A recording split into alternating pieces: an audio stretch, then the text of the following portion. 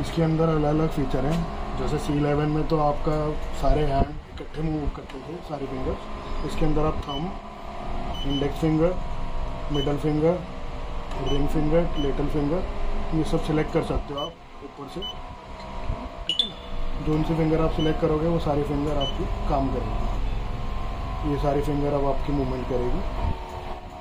आप programme select कर सकते हो इसमें। मेरा ट्रेनिंग मेरा ट्रेनिंग जैसे हम उसमें करते थे।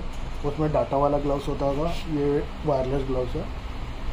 आप इसमें स्टार्ट करोगे मेरा ट्रेनिंग अब जैसे मेरा ये प्रेस करूँगा तो अभी मैंने थम बंद कर रखा है तो मेरा थम नहीं हुआ।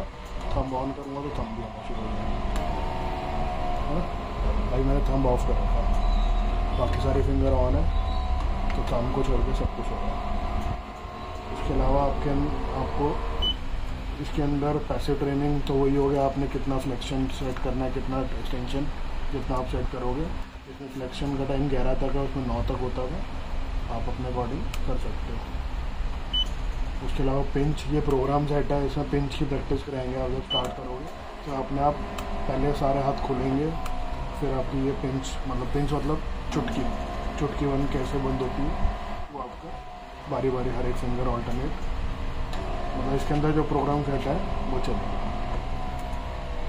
पहले ये फिंगर है, फिर ये हुई थर्ड हुई, अब लास्ट हुई। ये पिंच का आपका, ये फंक्शनल ट्रेनिंग के लिए पिंच का मोड है।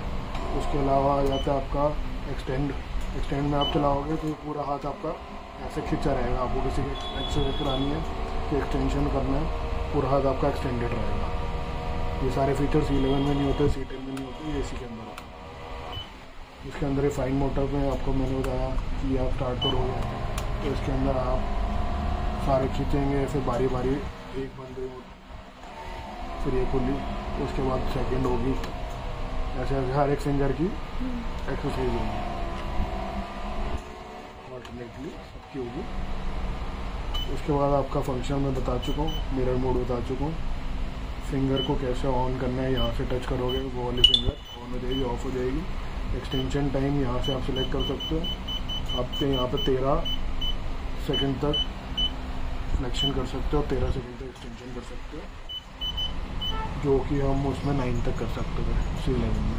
यहाँ पर स्टार्ट करोगे, अब आपका तेरह तेरह सेकंड तक ये एक्सटेंडेड रहेगा।